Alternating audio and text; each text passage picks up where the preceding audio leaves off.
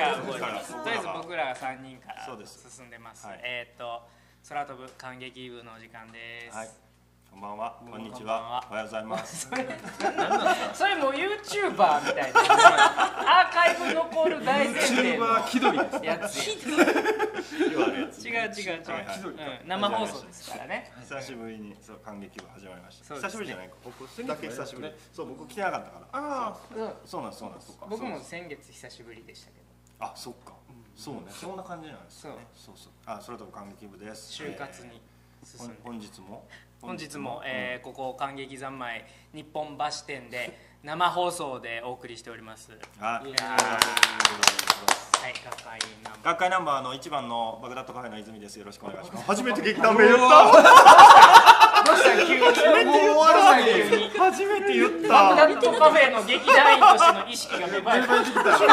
何やろうね気持ちが芽生えた。今俺なんか言った。ことないじゃがじゃが宿った。じゃあじゃあって何俺影黒なってない最近公演してないからここで言うとこあそうかもしれない急に来た。失礼しました。学会ナンバー2の立花祐介ですお願いしますナンバー3の竹信ですよろしくお願いしはますというわけでねほんまですね久しぶりです。そう久しぶり。さっき言って僕も久しぶりやからめっちゃ。どんぐらい？どんぐらい？えー、いつやろうな。でも前やったん何やったかな。映像は両方来てんのシンゴあいやジラ。じゃない。やろ今ちちゃゃちゃちゃんとボケたんで 一応拾っとかないと。シンゴジラっていつやねんっていうね。そうね。映像でも見ました見ました。見ました？あじゃいやいや。あ映像は違う2回違う違うとも来てない。映像の1回目来た。あじゃあ1うん、ヶ月1ヶ月受けただけですね、うん、見ました見ました、うん。すごいなーってあの乗るかソルかの、あね、武田君そうそうそうそう。すごいすごかった。うんそれこそか今日の今日のああちょっと一ゲスト謎のゲストと関わりがある謎のゲスト。謎のゲスト。どう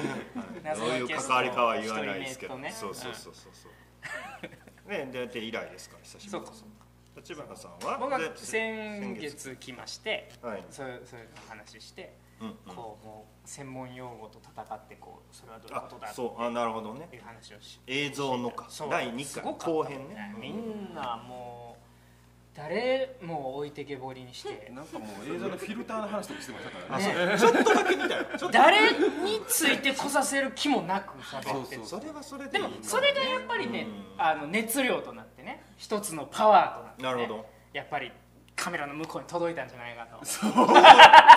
えー、なんで今日そんなええように言おうとしてるんですか？なんかおかしいよ。いやでもそうでしょこっちが楽しくやらんとねそれはそうですそれはそうですそそうそうそう。いや楽しそうでしたみんな。もうあそう。終わってからももう、お塩とかでまたやろうまたやろずっと言ってたから。あるね。そういうのは。初期にようあったやつの感じそうそうそうなるほど楽しそうあよかった。竹野さんは今ずっと出席率はナンバーワンじゃないですか？ほんまですね。あクラックアップおめでとうございあありがとうございます。おめでとうございます。昨日撮影が終わりまして。これからえねずっと月1ぐらいでやってて。半年ぐらいね。ね8ヶ月ぐらいこれから8ヶ月もうやることがなくなってしまったのでどうしやって生きていこうか途方に暮えれてなんてどうしゃって？どうしゃって？ほんまやね。どうしゃって？ほんまに途方に暮れてるよ。なほんまや。そうね燃え尽き症候群、うんうん。そうなんですよ。えでも今からなんやかんやせなあかんのちゃうの？編集。あまあまあまあ仕上げは全部やらないといけないあそうですか。はいはい。でもね外に出ていくこともなく。もうずっと家で閉じこもって一人ねあーなるほど。本手を書くこともなく。そうか。ほんまや。どうしましょう、ほんまやねなんか引きこもって電話して飲みに行こうやっつって。いやいや普通に仕事はやってるでしょ。仕事はやって飲みにるでしょ。行こうやっつって、ね。って感じでございますはい。はい。そんな近況ですかね。そうですね。はい。今日ちょっ今日と日焼けしてますけどこれはそう。日焼けそんななん映らんでしょ。その竹信さんの竹野さんの日焼けって。映るんですか？映るの？映してもんな今ちょっとでも皮ポロポロ取り取ってる取ってるすごいよ。ここだけすごい赤感じ赤ら顔になってるんですけど別に寄ってるわけじゃない。でもここ黒い感じ。でもすごい苦労してますちょっと撮影焼け？いや日曜日に護衛艦を見学に行ったら空母型の護衛艦で甲板焼けしまして。全然関係ない。趣味やん。4時間待ちとかやってさ。あ4時間待ちってツイッターでなんか書いてた。何言ってんのかな4時間待って軍艦見てたってこ好きやねんからええやんとか。はい全然。好きやねんから。何も言ってない大好きなんだから仕方ないじゃろそら。そうかと思って。待つでしょたまに。待ちます待ち全然待ちますよ。そうでしょ。僕だって軍艦待ちます。か文化は待たないでしょ。文化は。は待たないでしょ。制作ですねそうですね。制作を兼ねる演劇人。そうそう制作って言ってもねだからお客さんからしたら制作ってなんやねんみたいな感じ。受付の人っていううんそうなんかなみたいなところもありますけど、まあまあね。今日はだからその演劇人でもねその普通に制作専門でやってるっていうよりかは、うん。まあ、自劇団があって制作をやってたりとか、うん。まあ、俳優と制作を兼ねてる人、うんうんうん。なるほど。そうのお話が聞きたくて、制作っていう。さワードってさはい、二つあります演劇業界にしかない制作どんな感じいやそれは映画もあるしいや今日はあれでしょその衣のついてない方でしょ？はい。いや普通にその社会のその会社の中で制作っていう部署があるの会かとか。社というかそうね。なんかそうだからイベント系クリエイねタークリエイトとかえイベントの中でのやっぱり部門でしかないの制作でもなんかプロデューサーって言ったりとかさいやなんかプロデューサーエグゼクティブプロデューサーとか。衣ついてるいろいろ分ジャンルが分かれるじゃない、うん。でその衣ついてるついてないの中でも衣ついてるやつもいっぱい分かれたりするから、そうそうそうそう。いろいろあるんだけれど、確かに言ってる演劇で僕らが僕らがって言っていいか分からないけど制作制作っていうような制作って、まあ、大まかに言うと、まあ、当日を回す人であったりするのと、あとはまあそれまでのプレスをやったりだとかうん。劇団の方向性を決めたりするっていうような、うん。まあ、大体この2つに大別されるのかなっていう雰囲気はありますけどね。映画でも制作っていうのは一応いて、はあはあえーと衣ついてない方が一応いるん。ですけど、そういう人は何してるかっていうとその撮影とかの段取りとかをうん。うん。段取り管理したりするようなだからイベントとして撮影を見た場合にうん。それがうまく回るように立ち回る人たちのことをそうですよねがそれに当たってます。うん。なるほどとまあそんな感じの制作と役者を兼ねている人とい。えばこの3人しかもう考えられなかったので。それはたどたどしすぎるポジティブな意味ですか？ネガティブな意味ですか？そうやね。どっちにも取れる。両方の意味。で双方の竜が戦い感じの意制作ってつくついてるところに名前載ってる人もおる味まあいっぱいごございますけれども。まあそのトーナメントを勝ち残った人がね今日来てもらってるので。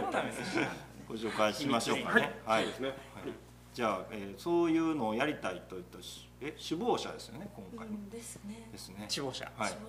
じゃあ、えー、とこちらに向かって自己紹介お願いしまえっす、と劇団一撃屋で劇団制作をやってます西文彩香と言います。よろしくお願いします、はいじゃあお次はああそう。なんかねいいないいあ後で来はる人がもう一人ちょっとここに器のでかい人があ来てるんです。けどのあの映す価値のない芸能人とかじゃない。ですそうそうそう。聞いても出るじゃは、ないいじゃなくて、はい、後で来はるんで、はい。はい、で、じゃあ、えっ、と、有本さん。あはい、えっ、と岡横の大発明の有本遥です。よろしくお願いしまます。役職はないんですか？佳代子の大発明内で一応なんか主催的なところみたいです。主催的なとこみたい代表代表みたいなことみたいです。なるほど制作はやってるんですか？でも主催やから、それも込みでやってる。まあお二人ユニットなんで、結局やらな制作しゃあないですもんねもやるかなっていう感じですね。でも、だから。シアターシンクタンクバンカーの時はあ制作やってたんですか？昔そうですね。あの結構長いことおったんですけど、それはの後期のあたりは制作やってました。ということで、まあ、だから制作制作という感じですね。はい。衣がついてない制作。衣ないやつ。ですはい。ない方です。うん。それの感じはどうなんですか、お二人的には、これが制作、制作って何なの？みたいなところってあるんですか？がなんか人によって違うよなと思っててそれこそ私その表現なんでしょう当日の運営は全くノータッチなんですよ。それはもうあの専門の専門の方にそうね出てるもんねで主に出てるそう依頼をしてなんかやっていただいてるんではい。っていうよりはそのなんか多分宣伝のこととかうん劇団の次の予定の話し合いをしたりとかそっちですねうん私がやっているのはなるほど、その制作について、なんかみんなの話聞きたい。だからそうなんです。すごいうん。これ言っていいかわかんないですけど、うんうん私これに出たくてずっと、ああのあそうなんですかなんか2回あ過去に竹山さんがどうですかって言っていただいてスケジュール的にいつもダメででもなんか川原君がこの間映像作るやつで出てるのを聞いてやっぱいいなと出たいぞ。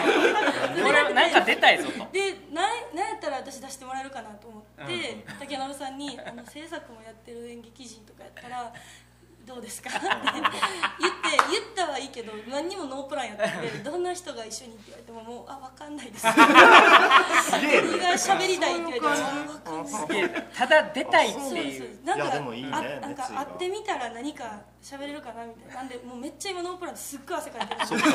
すっごい汗かいてます ちょっと怖いぐらい汗かいてる。すごいね。ちょっとやばいあのやばいって思う時は拭きに行っていい。あ分かりまあ全然全然 ちょっと消えます。はけてはけてちょっと拭いてから帰ってくるみたいな完全に汗かいてる最近ハマってるもんの話とかで全然いい。最近ハマってるものなんですかでもいいですか全然いい。急にか急に方向性変わっちゃっても大丈夫そうそうそうそう。最近ハマってるのはちなみにあのおっさんんずラブですよね。うわーすごい。や私私拝見してないんですけどあそうあそうツイッターでものすごい盛り上がっててこれはこれはただことじゃないってことそうなん吉田鋼太郎さんがちょっともうほんあの今おっさんずラブの話をするとでももうちょっと。おっさんずラブの回に なっちゃう完全に突然方向性変えて。なってしまうぐらい最近好きやらがツイッターでおっさんずラブのハッシュタグをずっと追いかけてしまってるんでちょっともうお仲間かと思いました。あのそのうち追いつきます。あぜひ。おっさんずラブ会はだからまたねまたまた。なんか機会があればぜひやっ熱意があれば。熱意があればやります。そらはそうですそういう時はあのおっさんずラブ好きな人ちゃんと集めて。最高ですね。おっさんに囲まれてねツイッターで結構見てる人いますよね。ほんまに演そういうの集めて。めっちゃ見てる人いる。死ぬほど喋りたいです。ほしいそんなにない。すごいあれね流行ってるね。そうですね。今なんか狂わされてますね今本当に。狂わされてる。ねだからおっさんずラブに狂わされてここまでとは思ってなくて 1話を見始めた時いい。まあまあでもシン・ゴジラに狂わされた人いますからね。大丈夫です。人それぞれ狂っていくんですよじゃあ制作のじゃあそんな大好きなおっさんずラブの話を我慢して我慢して。渋々制作。の話しゃあなしで。うん。なんやろね。でもだから何を喋りたいかがそんなにないかもって感じなんですよね。そうなんですよ。ね。うん。でも苦労話とかあるんじゃないですか？逆にああうんなんか、うん。でもどんなふうに皆さんあ悩んでるやってらっしゃるのかなみたいなのはあって、はい私が割とそのちゃんとした制作さんではなくて、ウェブ特化型なんで、うんだいぶ局地的にやってるので、普通はどういうことを考えてどういうことをしてらっしゃるんかなみたいなのが気にはなってて。僕でもう。ん昔はい。キャラメルの加藤さんかなの本とかで読んだのはこういうやつですね。かもしれない。思いついたやつかな。なんかそうこういう人やつなんですけどあの作演演、えー出演以外の、えー劇団を運営していく業務全てが制作の仕事だみたいな。そう。そう。そうそうそうそうそうそうう。ん。っていうふうには言ってた気がしてうんだからうんすげえ制作ってざっくりとまとめてるけどもう作ろうと思ったらいくらでも作れる。だからウェブの作業っていうのはうん何年か前は劇団の制作ごとでにはなかったし。なかった。そうですね、だから多分何でも制作なんやとは思うねんな。とは思うんですけどね。うん。あ有本さんはどうお考えですか？制作やってた頃は。うんあとは。な何をどんなことされてた？具体的に。でも基本的に大きいし大きい仕事絶対にこれここをやらなって思ってるのは、あのスケジュール管理と、うん。もう連絡系統ですね。いろんなところの連絡系統をそその係みたいなイメージスケジュールというかあの連絡系統。全員のスケジュールをどう合わせるかとかの話とかうん。それこそその、えー、といつ公演やるのかのスケジュールもありますし、まあ、挟み込みのスケジュールもあるしうんとにかくスケジュールのことを考えるっていう仕事かな。で期日管理というか、ここにこれがあるということはここまでに台本上げてもらわないと困るんですみたいな話をしたりとか、うん。そういうような役割かなと思ってます。うん。なるほどね。そうか。だからそこの時点でだいぶ違う。うん運営ですけど、うん。まあ基本はいわゆる興行の方の運営ですよね、ねうん作品の方の運営は脚本家演出家であったり、まあ、演出家のものなんてよく言われますけど、そうじゃない部分の興行イベントであったりいわゆる催事を行う上での運営に関しての全てのことが制作なんてのはよく言われます、バグは？バグはどうでしょう？ちどうちは結構ね外部委託が多かったか全部外注が多いうんうんでもまあ一応、えー、と一ノ瀬さんが一応制作として方向性は決める。のね、こういうのやりたい、こんな私こんなんやりたい。な悪い。ちょっと悪意あるね。なんで悪いってる感じ叩かじゃあやれるりましょうか。っつって一ノ瀬ファンから叩かれはい。るあんなあんな感じじゃないですよ。僕の一ノ瀬さんのイメージ。あ全然かかってこい。かかってこい。全然かかってきたらいいよそんな でもまあだからこういう演劇祭に出たいよねとか、まあ、次々こう5年後こんな感じがいいよねとか、えー、となんか V6 に会いたいとか。まあこれも一つの制作としては そこへの道のりをそういうことですよね。ねじゃあそれをじゃあ大目標とした場合に中目標小目標としたらどこでやっていったらいいのかとか誰とつないでいったらいいどうやってのか言ったらいいんですか？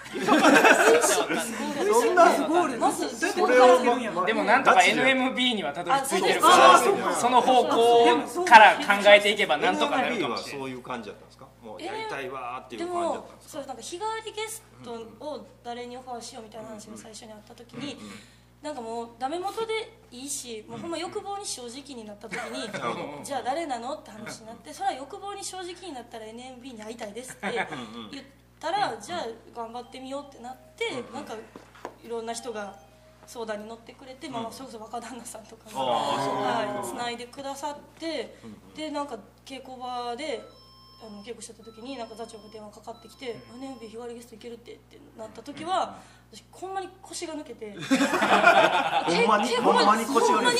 人生で初めて腰が抜けて、えー。涙止まらなくなって。でもうね。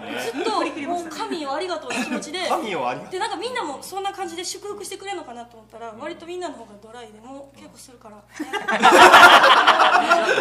ういいからみたいな。もうその泣くとかの時間もういいちから。ちゃうから。そうそうそれをひどいそれを全部ドキュメンタリーたちで撮っといてほしかった。です私だけが端っこで。泣いてる。腰。して。全然もう表現演劇やっててよかったですみたいな。一人インタビュー受けて。みんなめっちゃしてる。みんな全く興味ないです。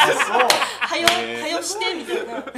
ほんまいいわこの時間みたいな。そう。でも今や NMB メインにおいて芝居やってってから。ほんまやね。そうですああもうどうぞどうぞ。はいどうぞ。ご準備ができた多分千野さんもいけると思いますそういう感じ。多分いけるだから腰抜若かし旦那若旦那に相談しよう。若旦那にそうなのにでもなんかしてもらってとりあえず一回若旦那に千野相談さんに言う時はどうかできればビデオ撮っといてほしい。そういうことやですね。全部。なんかみんなやっぱそうなんだ NMB のあ話ねね誰が映すか知らない。めっちゃ見てますやんちゃんと。めっちゃ見てますよ。ちゃんとして気になるからずっと電車素晴らしい。素晴らしい。ですすごいな。じゃあちょっと紹介をこちらの方にのサンジャックスの浜口のぞみと申します。よろしくお願いします。そう今とりあえず制作の話の持って。きたのが西本さんですからその話をおっさんずラブの話ですよねあなんでそんなに知っているんですかめっちゃ見てますやん。話あすいませんあのあ続けて全然全然ええなんか制作って何やろねみたいなとこからふわっと話をしていってたんですけど、まあまあ興行の一般のことをやることかなみたいなてなんか知らんけど NMB の話になって腰が抜けた話になってっていう状態なんですけどわかんないですけどいきなりでもあれですけど浜口さんなんかは制作は今自劇団では制作は一応担当されてらっしゃる。いや制作とは名乗ってないんですけれども一応プロデューサーと言ってるんですけども、プロデューサーの仕事もなんだか雑用までたくさんあるので、うん。まさにまさに。結局なんだかんだ全部ではあるかなという、ここからここまでっていうのが多分あんまないんで。区分けがないんそうですね。なるほどうん、でさっきおっしゃってましたけど、なんか作っちゃったら仕事になっちゃうじゃないですか、なるどん。どんどんどんはいはい。仕事が増える一方なんですよ。そっかはいはい。渡さない限り自分の仕事が増える一方みたいな。のはありますけどね、ああなるほどなるほど、それが結構じゃあ今も増え切って手回らへんわみたいなのがな悩みやったりとかそういうのもあるんですかあもうずっとそうです、あずっとそう、はい、もうやめたいってそんな感じで。やめたいです。誰か助けて。このポジション。応募はここまでお願いしま出ないですす出ない出ないです何が大なでも制作の仕事って、うんうん。あの思うんですけどなんか結構一人に集中しがちって私ずっと思ってあー。チームで何人でやるととかではなくて。制作チームがいるのではなくてなんか一人に割とギュッて、まあていうか全部をが結局つながってることなので、結局その人に集約されるようなことが多くて、なるほど。であの負荷がグッてかかるとそうころですね。ずっと一人やるにね。なるイメージがすごい強い。ななかなか切り離せないんですよこの一部制作のこの一部を誰かにみたいなのが結構難しい。担当とか決めたりとかってできないですか？こああなたはこれをやっといてください。で報告スケジュールしてください管理はあなたやってくださいね。これこれは私はじゃあプレスの方やります。みたいな感じにはなならないですか？そうですね。あでもその人の性格によりけりかもしれませんこれは。もう自分がややでもみたいそう逆に気遣いもできていろんなところに目行く人がやるから制作の人っていろんなことをやらなあかんし全部気になるしっていそう性質のあれがあるかもしれないですね。いやでも分かんないです。えでもそれ晩刊の時はずっとお一人やってたんですか？あそうです。だから前任の方がはい。それこそ負荷がかかりすぎてもうやめるわ。ってそんなん言っていいそんなん言ってていいいやそれはあの円満円満退職なんでそれは大丈夫なんですけど。あそうですか。まあ、それ引き継ぎを受けたのが私だったなるほど。でそのままやってたんですけども。はあはでやってみて分かる切り離せない感じもなんとなく分かるなって思ってて。やっぱり自分でスケジュール管理とかも自分の中で収めてしまいがちになる。方針とかも決まっていった上でスケジュール決めていくみたいなやっぱり統括しときたいみたいなね気もにもなりそうですよね。そのバラバラにここはやっぱ他人に任せたらあみたいな一応だから全体は見てますけど。そうそうする人お追ってほしいじゃないですかまあそうですね。そう確かになるほどそれはお二人も結構基本的には一人でやってらっしゃるんですか？劇団の中で。まあ名乗ってはいらっしゃらないとおっいいしゃってましたけど。えっとですね。僕スケジュール管理とかはしないです、はあ最近は。なるほど。もうそれは援助。援助。なるほど。なるほど。はい。だから稽古の管理とかはそうして、えー僕はそっちじゃに関わらないことはやりますけど、なるほど。なるべく人に仕事は振っていくような感じで思ってますが、はい。管理職的な感じになってきてるということですかね。いや小遣い的な 結果小遣い的なね。はなるほど、はいはいメインはどういう関係のお仕事が多いんですか？僕がやるのはまあいろいろやられるとは思うんですけど多分その集客するためにはどうしたらいいかとかなるほど。プロジェクトというか戦略というか。戦略だったりだとかうどうしたらお客さんが楽しんでもらえるか作品だけじゃなくて。んうんうんうん。ということを勝手に思いついて勝手に実行していくと めっちゃ好きな。ないとこから仕事作ってしまう。でで抱えてどんどん増えて。しんどいから人に振って。聞きようによって。はすごいわがままに聞こえますけど。でもまた大変。それがそれでお客さんが喜んでくださるんだったらいい。ですなればいいかなっていうポジションですかね。でもそれこそさっき言ってた西本さんがどうやってんねやろ周りはっていうところの戦略の部分ちょっと似てる感じがしましたけどね。聞いてるとそうですね、うんうん。私もなんかそのスケジュール管理とか折り込みの件とかも全部別の劇団員がそれぞれの担当が分かれててその DM の印刷をするところまでとかも全部やってもらっててどっちかっていうと私もあのこういうことがやりたいとかこういうことをやってくれとかを言い出しっぺが一番多いですね。言い出して自分でじゃあここまではやるとかこれは私にはどうにもできないからこれ用の画像を作ってくださいとかを言う人ですね。割と言い出しっぺかもしれないです。そういう意味では。そんなん思い浮かぶんですか？パンと。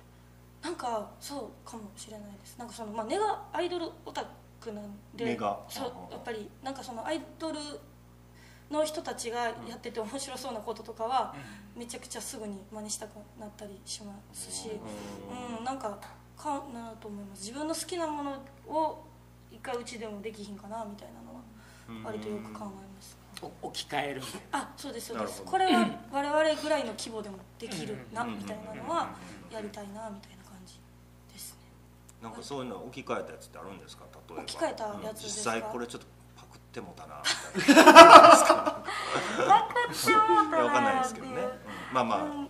なんやろな。でもそのぜ何がって言われるとあれなんですけどそのやっぱアイドルの人ほんまアイドルの話しますけどはいアイドルの人らでやっぱうまいなって思うのは現地に行かなくてもいわゆる在宅っていう、えっと、家から出ないファンの人に対してもケアが手厚いところがやっぱり売れるんですよ。わざわざそのアイドル現場に行かなくても。スイッチがスイッチ入った。スイッチ入在宅ね。在宅そのねあの詳しく劇場までは例えば、家が遠いとか、まあ、ちょっと金銭的事情とか仕事の都合で行けない人がどれだけ、えっと、一緒になれるかみたいなのがやっぱうまい。運営が私はすごい好きなので。でもまさにねあそうなんです。だから感激三昧さんのその映像配信の件とかもうちも動画をすごいしこたま撮るんですけど、日常生活も撮りますしその本編も流しますし稽古場動画も流すのは割とそういう劇場に来れなくても何か楽しめるものが点在画でもそうどんどん距離が近くななんるようなとなくコンテンツ知っといてくれたらもしかしたらどっか来てくれた時に、その疎外感がなるべくちっちゃいかなみたいな。なるほどなんかあの動画で練習してたら楽しいなみたいな思ってもらえたらなみたいなはありますねいやいいいいいいことやと思いますよ。だって全然なるほど。って在宅ね。名前ついてるいいっすね。もうだって在宅使えたって。刺激屋はあれですよね。あのマンパワーがすごい。あなるほど。確かに確かに。あのー人がいっぱいいるしようみんな動くなと。いやうん。感心しておりますよ。そうですね。わ本当に。我がことながらみんないいやつです。ね。ほんまに。そうねわがままに付き合ってくれるんで。もともとだってね劇団入る時も役者やりたくて入ってんのに、なんでこんな雑務せなあかんねんっていう、こと団を思う人もいっぱいいるじゃないそうですかそうそう基本的には。だから押し付けられるし一はい人のところに持っていかれるしっていうのは絶対あるじゃないですか、うん。それをみんな結構ぐんぐんやってくれるってなんかいいですね。そうですね。今のところそれで圧力が出ないですね、なんでかわかんないですけえそれは圧力が出てるんですか？人気 が悪い。人気が悪い。ど私が言ったみたいないろんなところにいろんなこう浜口さんの後ろのいろんなものに。圧力は別に起こってはいないですけれどもまああのね。まあでもよくあるっちゃあるそうそうなんかでもねね自分から仕事取りに行こうっていう気にはならないというか。とかねまあ振られたら振られたでね。そうそう。振られがちな子もいれば振られないがちな子もいる。あそうするとまたそこで不平等が出たりとかっていうこともあるので気を使ってでらっしゃいます平等にしても進みがやっぱ違うから「お前いつなったらやんねん」とか「いつ全然できへんな」とか。ここまでやってでもできればここまでやってあーなるほど「いついつなったら終わるんかなその仕事」でもやってもらってる身だからあんまりあるある。めちゃめちゃそうですそれはめっちゃ大変ですね。もうしんどいね。そそれその役それは役者さんとかですよね言ったら。自分の劇団まあ劇団員ですからね。ですよね。でもお芝居はもうい一品やからもう仕方ないかみたいな思いなんですか？うん。まあそれは様々。ありますよああなるほど。そっかそっか。難しいもんですなだから。人に、えー、と手伝ってくれる手伝ってくれない問題もあるけど。えじゃあそういう手伝ってくくれる時もくれない時もあるっていう状況やったら例えば浜口さんとかどうどういう施策を思い浮かんだりするんですか？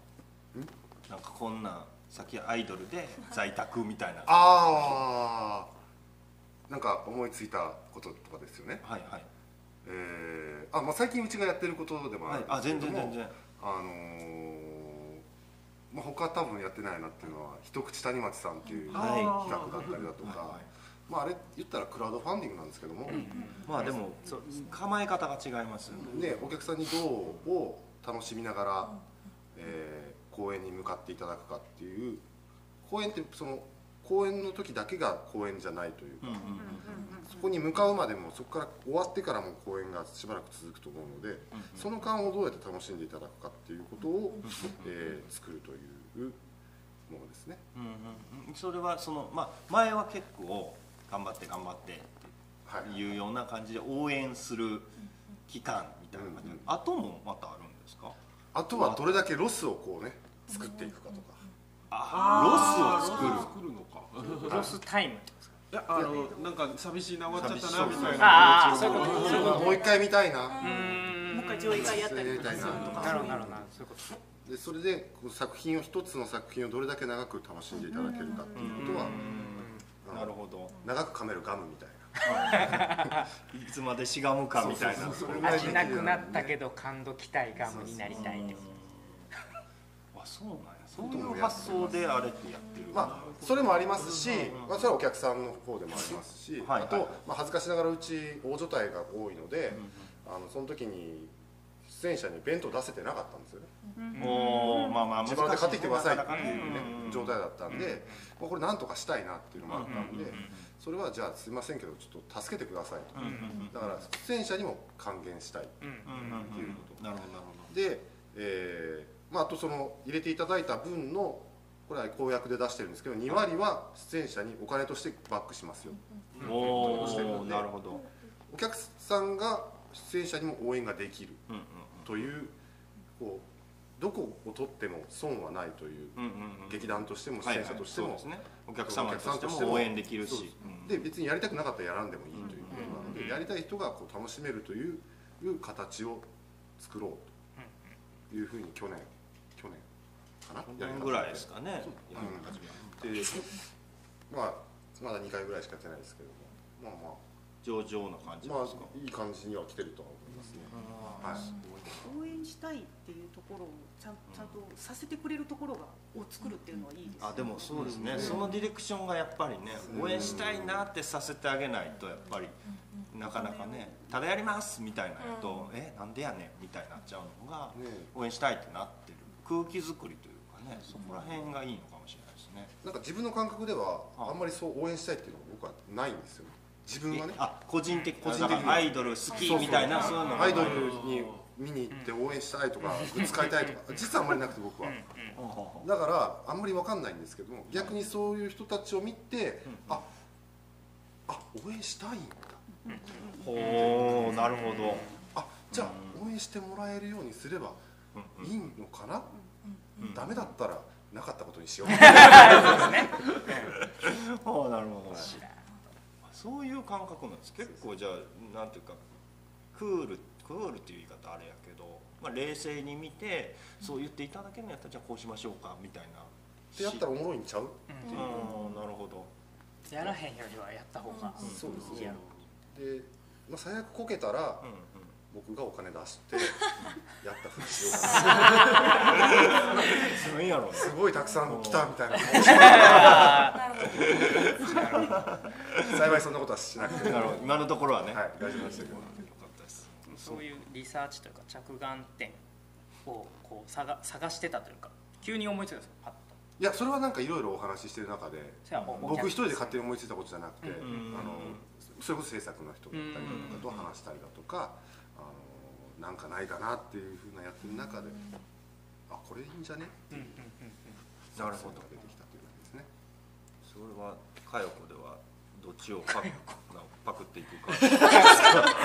次。次。次。をね次初めて本公演をされるんでそう。動員が怖いって言うてあるんで。え今更旗揚げ感がすごいんです何回やっとんねんって話ですけど、その名前はい。聞いた3年中で3年かかってやっと働きキンキキッズみたいなもんですよだからえどういうこと？デビューいつやねんっていう。まだデビュー散々メディアに出てそうそうそうえー。もうラジオ番組も持ってたのにガラスの少年ででデビューなの？みたいな。そうなんや。そうそうそう。えー、知らんかキンキキッズのキンキのキンキのキンキはちょっと面倒くさいめっちゃ恥ずかしい。どっちが強いしか？こっちが強いそこか？らまだ協議していただいて家で呼び合ってるこれちょっと剛ご飯よそって。急に。いや失礼しました、いやでもだから参考になでもなんかするところがねごい今聞いて参考になりますね。あそういうそうあそう。継続的なもの、うんうん私たち私たちの開口大発明がもう、うん。ほぼユニットの方なんで、うんうん劇団としてその継続的にしてはる方のうんお話っていうのは非常にあの参考になるなと思って。もう一瞬間瞬間しか考えないんですよ介護って。繋がらないんですよ、うん。ストーリーがないっていうあの劇団ってやっぱり物語があるじゃないですか、はいはいありますでねずっと昔から応援してる人とかっていうのはいはいはいはい。そこを応援したくなるんですか。うん。佳代子はもう瞬発力しかない。バーンってやってバーンってやってもうその間全然客入れ変わってるみたいなことがそういうこともよくあるんですよ、ね、そっかそっか。だからこれだから旗揚げしたら変わります。変わるかもあうん変わります。だってアンケート取って何々さんのアンケートとかあったらつながってくる。ねつながっ二人がつなが旗が上がるわけですから。やっとまあずっとこうやってたんですずっとこうやってた。たまにシュッシュッただやらんとこうと思ったらやらなくても大丈夫ですう。んそういうやあかやあ形も一つありかなとは思いますけどね、ヒットアンドアウェイみたいな遊撃隊みたいな劇団っていうのはありかもしれないですけど、うんすごいすごい今の参考になる早スタ速いいンドアウェイって面。白いですねヒットアンドアウェイの打ってます声打つは消えるわ。打つはそういうことかわかんないでも全部公演ごとに一からでしょでも集計まあそうね。そうね。そうスタンドアウェイいやでもなんかあるそうでしょだからやっぱつなげていくっていうためにはやっぱり頑張らないと考えていかないといけないそうそうなるとある程度の近いスパンでずっとやってないとあでも絶対そうですん。忘れられないようにだからその一撃屋さんとかのその映像を常に回すとかうんなんかそういうところでどうにかほない時間を保管していこうみたいな。そうですね。埋まってる方が。うん。公演本数も多いですね。単純にねそうですね。なんかでも去年が異常に多かっただけで今年は割とあれ今年でも10周年今年そう10周年です。ね。なんか公演じゃなくて運動会とかをそうそうそう。それ聞いてねあのあ僕えっと名前出すのあれですけれども、はい。あのーあの子あの子ですよ。か川原ですか？違う違う違う違う違う。えっとあの僕が LINE してる子ですよ。僕が何してしてるちょっとだけカメラ止めて。カメラ止めて。LINE っていうとそういう感じなんですどう？したんやろそうそう別にやましい話。いやいや大丈夫です大丈あ夫です。の山下アリちゃんとあのーこの間ちょうどうちの撮影してもらったのはいはい。はいで今後のスケジュールのことちょっと教えてってことで聞いたら来たのがなんか公演があって座長の結婚式運動会って買って後半劇団の動きじゃねえよなと思って。確かにね結婚式運動会ってまあ一家の動きですよね。家の動きそうですね。いやそうですこれ劇団のスケジュールなんやな。って完全に劇団のスケジュールですね。その辺もねそういうところもプロデュースしていくっていう。う、ん、でもそれはあるかもね。なんかいつもそんななんなんていうかさ隠し芸大会みたいなのもやってるやん。なんかよよう分からへんみたいなのよくやります。ねなんかそういうファミリー感を持つというか、そう。そこの戦略はすごいいいよねっていうのはありますよね。なんか結構最初の頃にあのそのお客さんとの距離感の話みたいなのをやっぱりどうしていくかみたいなのをその先輩とかからもされたりしてうん。その近くするのか、まあ、ある程度の距離節度ある距離保つのかみたいな話をした時に、うなんかあんまりどうしていいかわからなかったんですけど、うん。結果的に今多分うちはお客さんとの距離が近め劇団になってるなみたいなのは思いますね。なんか仲良しですね。意図してやろうと思ってたわけではないではなかったです。なんかそのアドバイスをしてくださった方はどっちかっていうとこの距離あった方がいいんじゃね？みたいな感じの人やったんです別に全然一撃は関係ない先輩えそれは全然別の先輩。別の先輩です。な。私が一方的にお世話になってただけの人なんですけど。でまあなんかそれは別に近いのがダメってわけじゃなくて、うんそのどういう作品をやりたいかとかにもよるけど、なんかあんまり影響を受けない方がいいんじゃないかみたいな感じだったんですよ。お客さんと近くなるとどうしても多少影響を受けてしまうものだからみたいな。って言われてたんですけどなんかあのうちの多分座長とかの人間性がどっちかっていうと近いく行こうぜみたいな感じの人なんで、まあまあ今はそれでそんなに支障がないんでいいかなみたいな感じです。もうお客さん同士も仲お客さん同士がすごい仲良くてそれが私は嬉しいんですけど、あの遠征公演とかをやったら、うん。その大阪のお客さんのお友達同士で見に来てくださったりとか。いいね。そうなんです、うん。ちょっとそれはあ嬉しいって思ったり、ね。その東京のうちのお客さんと大阪のお客さんが東京で待ち合わせして、へー一緒にご飯食べに行くねとか言われると、へーすごい嬉しいな、嬉しい。ですそねれいいね。なんかニコニコしちゃえう、一撃がきっかけで結婚したとか付き合ったとかそういうあの分かんないです。いるんですかね。一撃屋見てほしい。一撃でも婚それがもしあったらほんまに呼んでほしくって。それこそ劇団で行くよね。あ絶対に行きます、絶勝手に行きたい。あの 勝手にあのフラッシュモブとか勝手にやらせて外でフラッシュモブそうそう。勝手にやらせて困る。と受付前の来るお客さんお客さんって言われる。めちゃめちゃやりたい。来る人の前でやっいてできればそれいやでもそれはそれぐらいね。もしうん。いたら教えてほしいです。絶対に行きます。それは確かにあると嬉しいね。ですでも多分あるあるいやうちは別にそんな聞いたことないですけいやどでもあってほしいです。あればあの勝手に行って盾やりますよ。いやでも絶対なんでやねん。ですよ。絶対何勝手に盾やってくれとんの？切れ切れとかやったら。もうそうかそうバッサバサぶちます。なるほどね。ちょっとこわもての感じの人いて最高じゃないですか。めっちゃ楽しそう。嬉しいかもね。警察通報されそうです。控え室とかないんでしょないないない。もうどう見ても怪しいしみんな持って。でも嬉しいよねやっぱり来てくれるとね。そんなんだったら。佳代子はなこ何してちょっとしたコントをやる。んですよかよここかよここ需要ありそうだったらあの子だったらもう泣こうとしたらいいじゃないですかそうですよ二人で。普通のやつ。そうですねありましたらはい。まだ旗揚げもしてない。かよここ前にありました仲よ人初仲これ人からこれから。これからね。旗揚げより先にね仲人。がねあナコードが。ナコードからデビューする個人的な仲人が。すごいねそれは。そう。なるほど。いやすごいですな。制作ね。でもなんかその今制作わっと一般の話だけど、ん。なんかもともとは俳優やりながら制作やる苦しみというあか。嬉しみというかいいろいろあると思うんですけはど、ね。そんなんもちょっと聞けたらなって私は思う、後半で聞きましょうかじゃあ。あじゃあちょ聞きますそろそろ休憩のタイムかなっていう感じで。はい、じゃあ45分ほどピャーっと経ってましてね、じゃあちょっとそのあたりを後半で黒話を。聞きましょう。聞きましょうか。暗い話しましょう、あの闇を。はい。涙涙じゃあちょっとブレイクしましょう。じゃあお願いしますあうん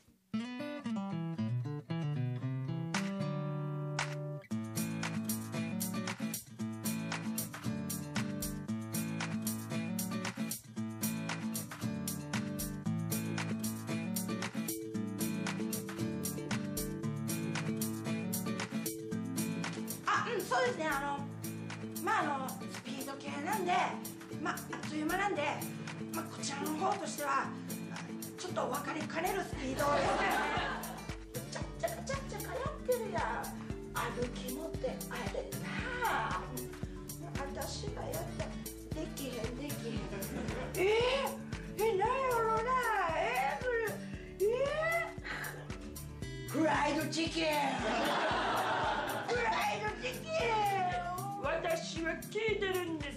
山森さんに私が知れないわけないでしょ。もう見てるんだから可愛く外やってたけべおいしいな。あネギ切ったのか？え？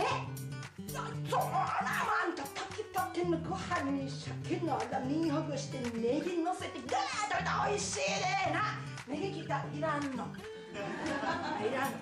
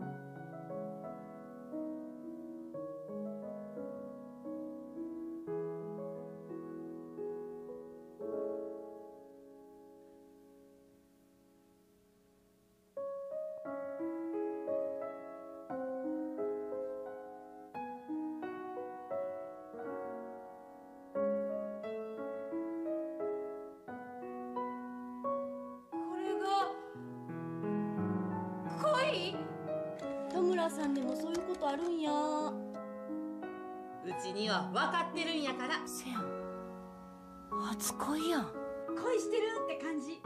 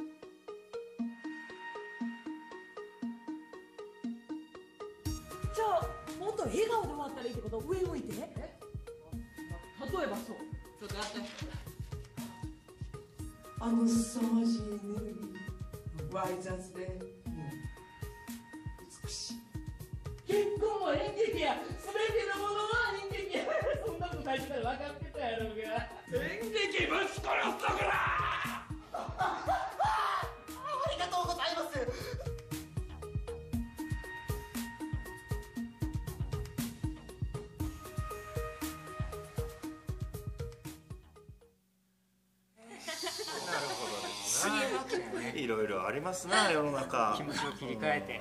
はいそうですね。闇を。闇。を。いやここまでですからね。闇の方に。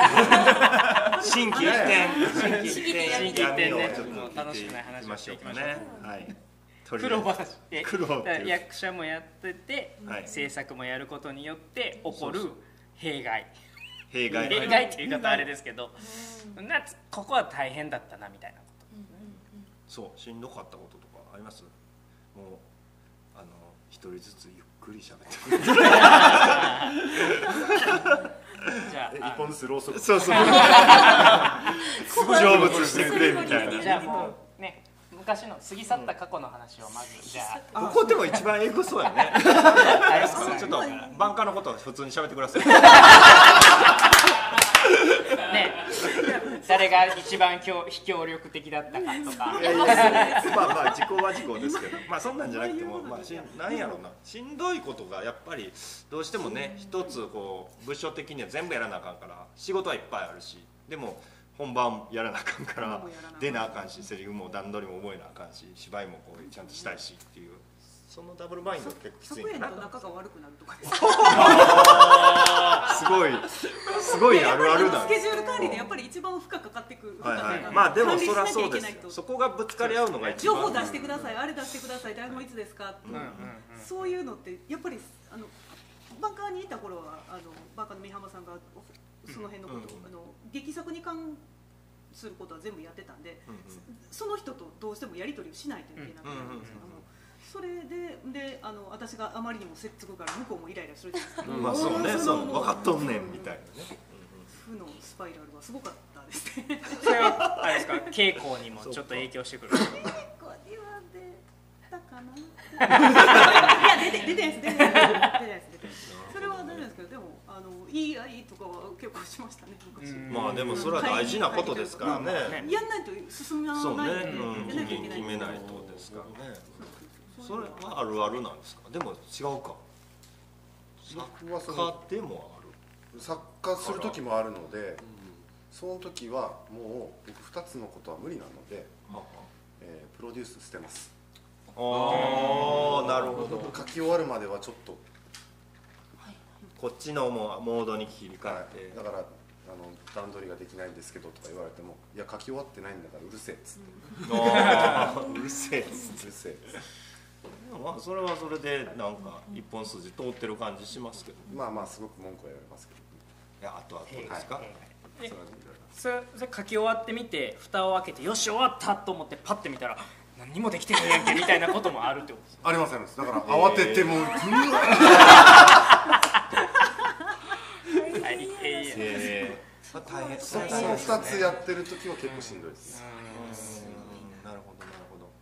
どうしても時期が被る作業だったりするんで、はいまあ前準備ですもんね両方ねその時は役者も出てるんですかそれはねここ数年では出てないですねあ出てるわ出てる出てたけどその時は去年だったんですけど去年は改訂だったからそんなに重たくなかったああなるほど前も一回やってるからみたいなそそんなにこう新作というよりは楽だったんですけどね、そうかじゃあ、うん、なんだろうな変に他人とギスギスするっていうのはそんなになくて自分のなんかこうタスクの問題みたいなのが多いってあ感じですもうそうですね。キャパオーバーをすぐ起こすことは多いかなっていうのとあと、まあ、役者としやしてやってての弊害は、本番直前までお客さんの入りが気になる。あわあすごいうなずき。今二重あるあるいただきました見ちゃくないかなとか。あずっと LINE 見ちゃうんですよ。そうそう袖で。あと動員悪い時はもうちょっと伸びねえかな当日券伸びねえかなとか。ああギリギリまで何かできることがあるんじゃないですか。ああそうか。なるほどギリギリねまで。わかりますね。ありますね。でももう始まったら切り替えてパンってやるでしょ？それはそうですね。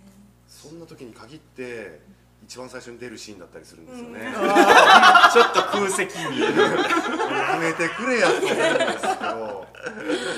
えー、あそうなん西村さんは喧嘩はしないですか？喧嘩？あでも全然しますよ。しますします。なんか。でもなんかライ今、えー、ライト言ってたらな感じみんなですか日常的にまあ言う言うこと言ってるからねからなんか普通に話やから。あのちょっと上演時間これでは絶対に無理なのでなんとかカットをしてほしいみたいな。するとこないやしてくださいみたいな、うん。してもらわないことには飲めませんみたいな、そういうあそういうのはします、うん、稽古終わりとかにじゃあどこ削れるか会議みたいなのとかありますね。あそれはシビアですね。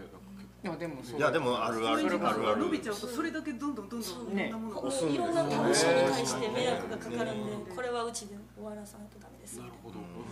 とかはありますねそうねまああと早う台本書けも言いますし。いやまあそれが多分第一位な気がするけどね。なんか誰かが言わなあかんってなった時に、ん言う担当には多分なってしまいがちというかみんな多分少なからず思ってても、でもみんなで言ってもしょうがない、だからまあ誰か誰かがやっぱりいちいちで喧嘩する方が平和なんで、担当みたいな感じでした喧嘩担喧嘩と当。喧嘩担それはもう案に西村行けみたいな感じにな当なるなんかなんかでももうみんな私やなあのみたいな。担 ここはないや私やな一番いいのはどっちみんな誰もうん。どっちの肩も持たないんで、そあー。の分かってるんで、うん。あれはそういう自称みたいなうん。自称あー。自称でなんか何々さんあんなに言ってるのにとかあんなに言わなくてもみたいにはならないんであどっちもまっとうに喧嘩してるんで。お願いします。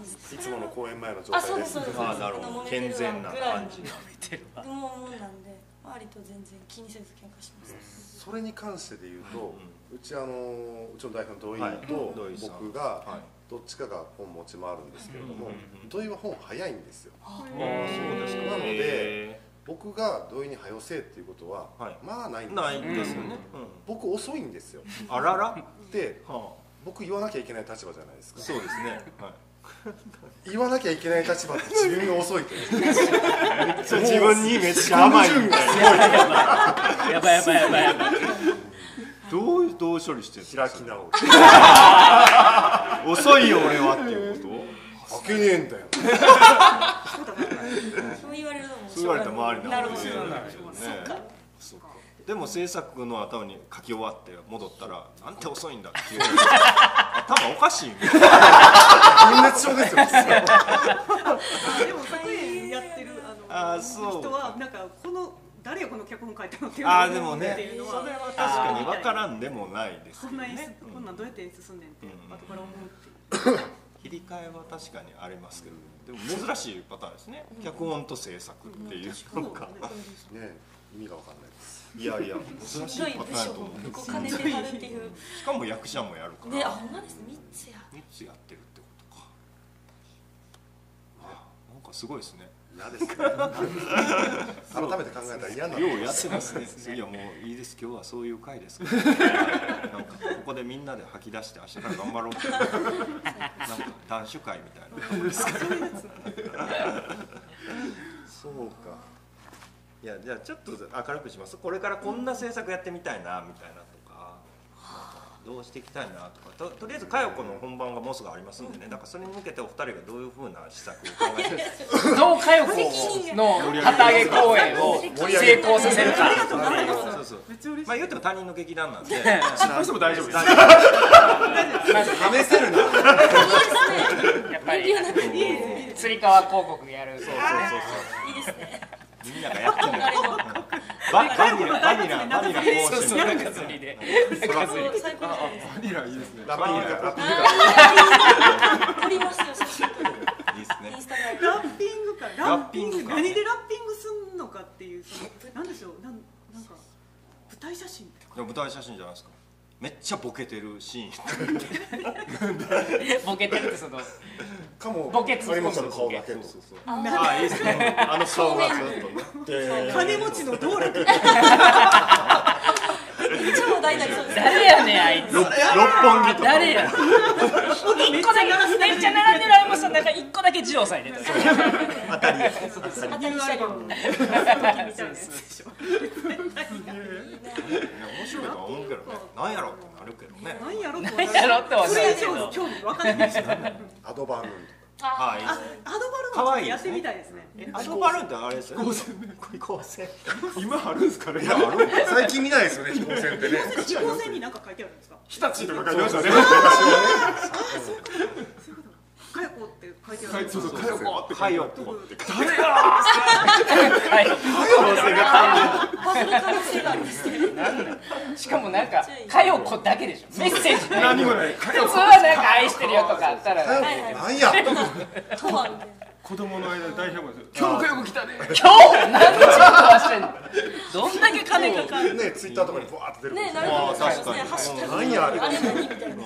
かよこあめっちゃわかりますシかよこアドバルーンつぶやいてください何アドバルーンと飛行船とあのバニラみたないんなかアドバルーンアドバルーンは分かんないですけどピングかアドバルーンなんか方わかんないですけどファーストの上に上げたりとかやりたいあいいあいいんじゃないですか上げてねなんかやりたいできそうですできそうあアドバルーンアドバルーンがですか？アドバルーンでそんなえそれはどこにとかあるんですか？やってる会社あるってこと？あでもあ申請だけね。申請はあげないそらそらせんと超面白いじゃないですか？5万円でしょチケット代なんぼですか？いや違う違う何何枚何人来たらいいみたいな25から28ぐらいですかっていうところですけどなるほどなるほアドバルーンはなんか20かよこっぽくていいですねあれで20人なんか文字とかいやだから文字入れとかできたらいいどアドバルーンを皆さん飛ばせませんかっていうクラウドファンディングあみんな一口アドバルーン。一口アドバルーン。口アドバルーン。一口だったらすごいちっちゃい。ー太陽のちっちゃい名前がどんどん大きくなって。いくアドバルーンを育てよう。ちっちゃいだんだん大きくなって夢ある夢があ鼻大きいのがそうそうそう。最初飛行船が飛ぶそう。最初一ボ番ーナス一番ボーナスエリス町の飛んでるんですけど楽しそう楽しそう。めっちゃ楽しいですねなんかなんか飛ばすって面白い。ね飛ばしそうですね。なんか飛ばしたがってますね。でもなんか確かに飛ばすの楽しいですねでこれただ単純に楽しいってだけであそうすねそうそうなんか面白そうっていう。楽しい面白そうがやっぱり原点としてあるっていう感じですなんかよね興味持ってもらうなんか自分も多分そうファーストの上にうんうん。アドバルーン上がってたら面白いなってまあ自分が見ても間違いなく面白い外人とかもわーって言いますよもうおうアドバルーンってそのまま。そのままアドバルーン。わおジャパニー。ズすごいジャパニーズカイロすごい使えばうちのもうアルファベットにせなあかんってことやろかよこあーほんまやねほんまやあようこうワールドワイドな感じですね。かよこが世界に羽ばたく全然芝居興味ない人でも見てくれるそうではありますそうでもか今言ったアドバルーンとか飛行船ってこの佳代子のやってる作品とは全然別じゃないですか。はい。感覚。まあ感覚としてはと飛んでるとかあるかもしれないですけどその発想はそういうもんなんですか。とにかく楽しかったらいいかみたいなのから入ります。あー。作品からこんなんやからじゃあこうやなとかっていうわけではまたないんかなとか。昔バンカに行った時やっぱり作品から関連づけて何か企画考えたりの方が多かったですね。私は。こういう時代うんこういう時代のやつやからうんうんうん。なんかこの時代に関わるなんか何か。割引企画みたいなのとかそういう作品に絡めたものすることが結構多かったような気がしそういうのってうまく気が引きやすいですか？なんかあのお狙ったようなそうそうそうそう。狙った多分狙っある種狙いがあるじゃないですか。あのこういう人たちに向けてみたいな。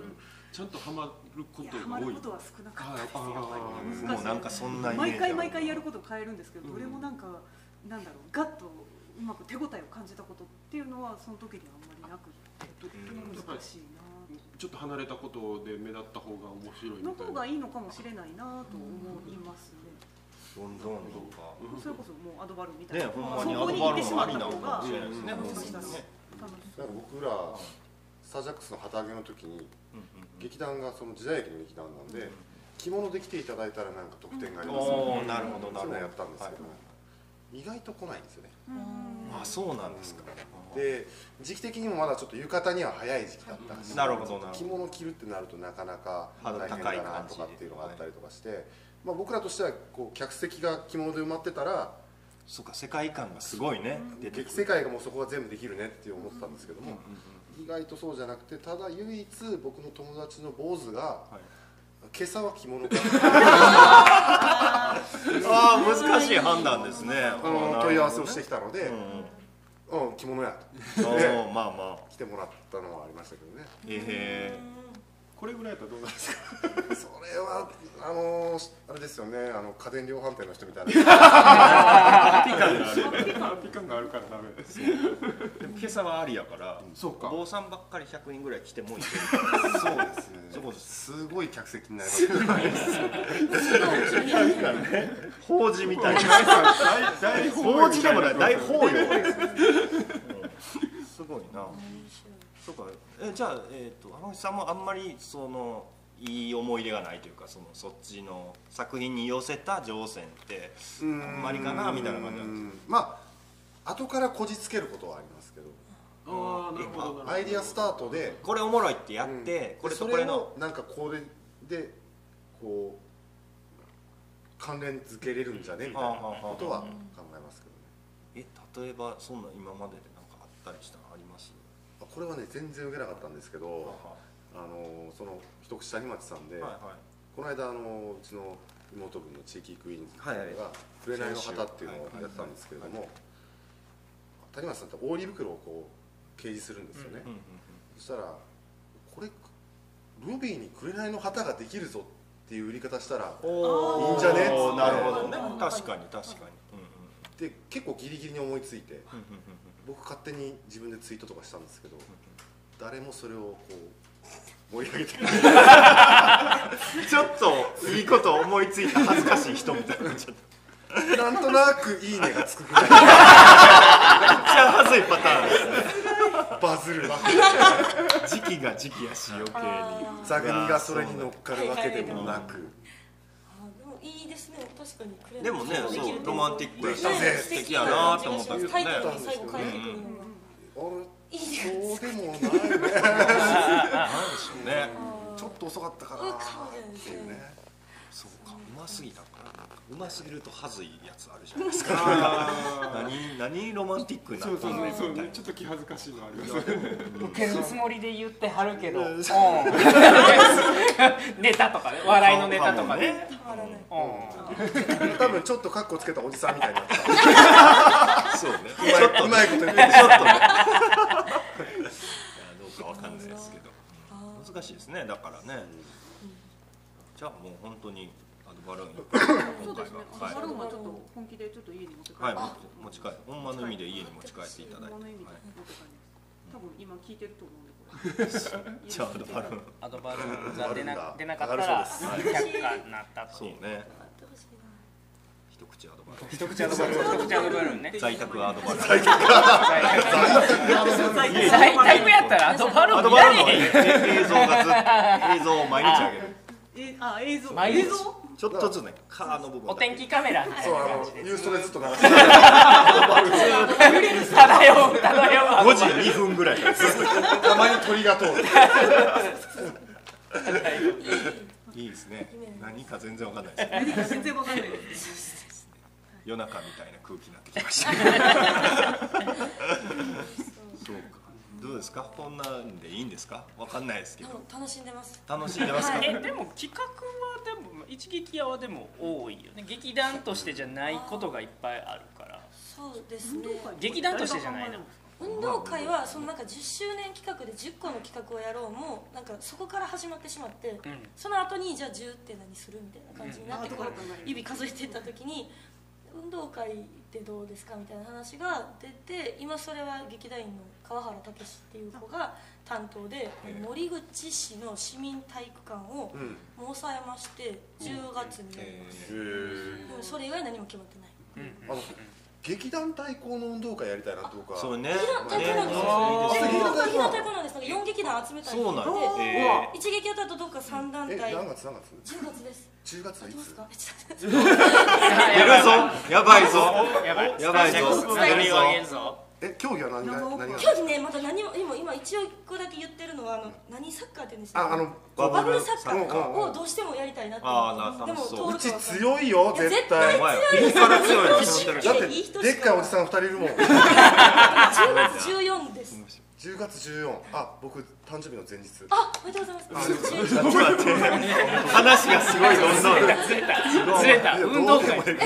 運動会。その時期だったらいけるかなマジですか？ちょっと見てるかなたけしいやだからちょっと候補には一個あげといて。もしかしたら。4団体でちょっとお客さんにも来てもらいつつ4劇団でなんかいろいろ協議して争って何があるわけでもなくあいい汗かいたい合併してもいいと思う。あなんかね連合軍。連合でも軍楽しいですよね。ね。どうしても数がねマンパワーじゃないと。そう二人かよ持っておじさんあんなしかもヒョロヨヒョロヨシさんと小さいおばちゃんが体悪そうなおじさんがテレビ大好きなおじさんがドラマですよそれがもうドラマですよ二人がこう立ってくれてるだけでなんかもういいねあ二人三脚。いやいやもう連合連三脚めっちゃいい合どん。どんどんどん人集めて連合軍で。二人三脚絶対に見たいですね二人の二人三脚感動しそう。もうこれははい家に持って帰るやる らしいですけどでいやねまあなんか連合軍を連合軍ね連合軍をしてはいねなんかぜひぜひ参加できるとしたら二人は絶対参加しない全部読んでいただいて後半ペロペロでそれこそもう 100m のリレーとかなったらなんかこう2人で回る全員が交代に走るその場にいる全員が味方ですよ完全に応援してすごい応援さ弱い国みんなで頑張る。よみたいな頑張る。頑張る最後の泣く泣くそれでだから一般お客さん集めたらいいんですよそこで感動をはいはい食って佳代子見に行こうって思わせるっていう。あえて2人で行くってあのいう。二人していた二人が。人で来た？応援せな。よし公演いつや見に行こうみたいな。まあ多分ですけど声援一番多くなるでしょ確かに確かに。その2週間後にね本番を。そうだね。体をいやでもいいばっかりじゃないですかやっぱりそう2週間後の公演に支障をきたす可能性はあります出る。しはばらくえげつない筋肉痛になるその 可能性があります公演中止です一番のパターンいやでもそれがそれがまた涙を誘うじゃあ次会ったら絶対行くんでみたいいいですねドラマがあいいですねいやもう連合軍だから佳代子の大発明は連合軍ではなく単体ででボロボロになるみんな感動する本番の時にボロボロで中止になる上にアドバルーンだけはゆっくりくりゆっくり揺れてるから。だからちょっとアドバル多めにそうそう多めにお金集めて赤を埋めるっていう。右下にフィンできた。そんなストーリードキュメンタリーですねそれ完全に。素晴らしい制作を見せていただきました。これが制作やとは一体とは一体公演中止になってるからない。やあえてねあえて戦略としてのそれはねそれからそれがこれからの物語をもっとロングレンジで見てはるから違い。ますよね視野が全然違い。ますよターゲ中止ってい。うドラマからい。やい。や素晴らしい。第2回やるから公演をせずしてお客さんを満足させるっていやすごいですね。逆説的ですごいことですね。それなんか。武道の達人みたいな。戦わない戦わ攻めずとも参りましたみたいなやる前にやっぱり旗揚げしない結果ね結果またサーティーサーティーそうまだサーティサーティとかは出てる両方出てるで第2回二回目ももう一回中止になるはい。あい。いですねいつやるんやかよこいつやるんやっていうのを。ずっと3度目の？次こそは振りがどんどん大きなっていつやったらいいのかわからない。なんかずっと同じ毎日をループしてるみた い。な 終わらないですかはい、ドラマですね。はい、じゃあそんな感じですかね。こんなんでいいですか？こんなんで満足あですか？大変興味深かったあ、よかったではいす。じゃあじゃあまあ最後を楽しみにという感じで。ありがとうございます まずは彼の旗揚げそうアドバルアドバルーン運動会はい二人三脚二人三脚公演中止 ストーリーがつながりましたというところでまあとりあえず今日ははい終わっときましょうか。宣伝はい。宣伝とかありましたはい。ねはい。告知ありましたらはいはい。ぜひ。ぜひ。あのえっ、と6月に大阪7月に東京と愛知でサントシツアー公演をやります。あの何人言ったらいいのかな。今高校生以下無料のキャンペーンをやってましてあそのぜひそのわかんないです。これを今見てくださっている18歳未満の小中高生の方よかったらこれを機会になんか演劇あの好きか嫌いか一回見てみないとわからないので、もしかしたらすごい嫌いかもしれないんですけど、まあ、ただなんで一回見に来てもらえたらなと思います、えっと大阪は6月15から17日 ABC ホールでやってます。ぜひよろしくお願いします。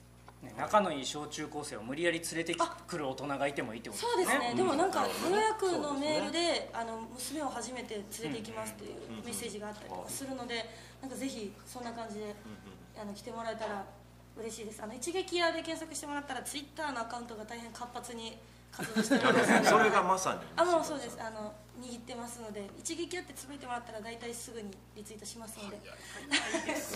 生きがいを感じてますあれに関して生きがいを。ぜひ素晴らしい。よろしくはい。他ありますかありますか？えっ、とはい。えっ、とあ直近ではえっ、と、6月の12日の火曜日に、えー、とインディペンデントシアターファーストで水星マジックさんの「ヒーロー6月号」っていうのにちょこっとだけ出させて、えーもらいます。ありがとう、単体で出しで出俳優としてね。はい。はい、で先ほどから盛り上がっておりますかやこ大盛り上がってる。この盛り上がりが正しいかわわからなないいですけど、まああ行のもしご興味持っていただける方がいましたら、あの10月の26日から28日に恵比寿町のインディペンデントシアターファーストで公演を行っておりますので、アドバルーンは本当に上がるのか、そうですねちょっと確認しぜひに見に来ていただければと思います。本当にやっているのかどうかをね確認しにファーストへでも行くっていうほんまにやるかもしれないです。かもしれない。やるんですか？本当に大丈夫ですか？難しいと思うけどな。ふくらはぎとか大丈夫ですか？運動会のあの筋肉痛を負ってお手ちょっと持ち帰ります。ありがとうございます。はい。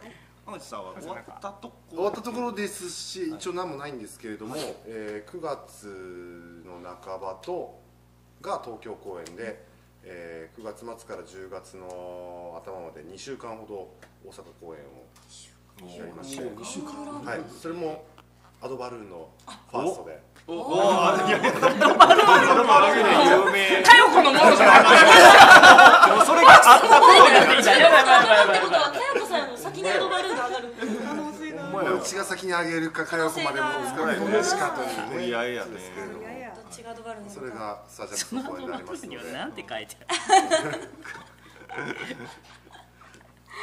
まあまあまあ。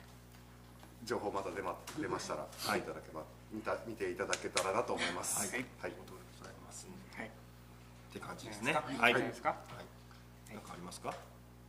私まあなんかありますけどまあ調べて僕 もちょっとこれだけであと。はい。これやらなあかんからちょっと持ってください。やるなあかんやつはいやらなあかんやつある義務義務これ、義務はい、この名古屋会があります。6月23、24日、演劇フェスという大店員寺町えー寺町クラブ主催のスペースドラマネクストという演劇祭が始まるんですけど、そのオープニングアクトとして30分のショート、えーコメコメディ、うん、笑いがテーマのお芝居のフェスやってます。またよろしければと、えー6月の2日3日に、えーやってます。僕ちょっとトーク出たりします。それはいいとして。あとこれはなんかブレイカーレッグってアイホールの若手支援企画がありましてこれがもうすぐ7月ぐらいからですね、えー、と始まりますんでよろしければこちら応募していただければと思います。仕事が終わりました。もう一個、はい。もう一個だけごめんなさい。えっ、と7月7日に1日だけなんですけど。も、はい、あのーえっ、と。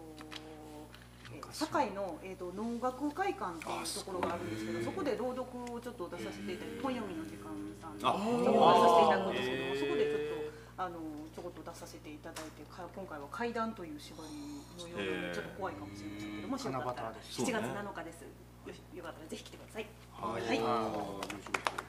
あじゃあじゃあじゃあ じゃあ誰行く次誰行く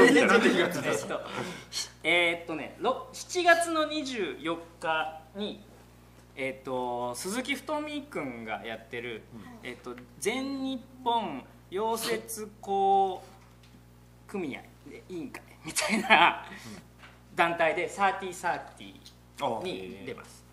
えっと役者ですか？役者で出ます、それが溶接工ではないんですか？溶接工はしないんです。そうね。やっててもなんで公表してんねんって。話何のバイトやねんって。であと、えっと、8月のえ？なん？151617ぐらいの同金土日にシアターエイトで、えっと、春田純一さんプロデュースの「春田組」っていうユニットの公演に出ます。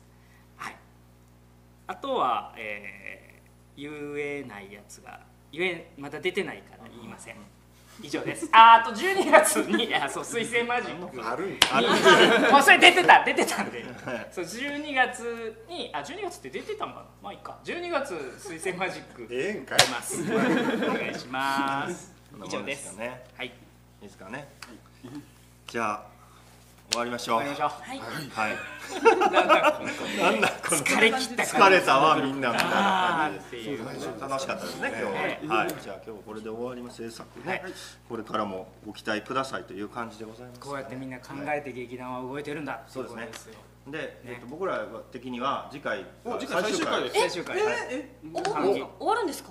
あの定期定定期的に期月一でやるのは。月一はもう終わってでもだからもうやらんのちゃうってなってはしますけどいやわかんないですけど。一生感激部します状態になるんで。だから西本さんみたいな人が来てなんかやりたいおっさんずラブやりたいって言ってたらじゃあいついつやるっていう制作委員会が動き出す持ち込み方式に変わるそう持ち込み方式に今までもちょいちょいあったんですけどじゃあちょっと用意しますまた。あマジですか？じゃあはいでもあ用意したはいいけどこんな状態で来ますけど。大丈夫です。こんな状態でお迎えします。ありがたいです って感じですかね。はい。はい、でございますんでまあよろしければというところですかね。ます。次回でも何するんですか？僕たち最終。いや全然決めてないですよね。何も決めてないですね。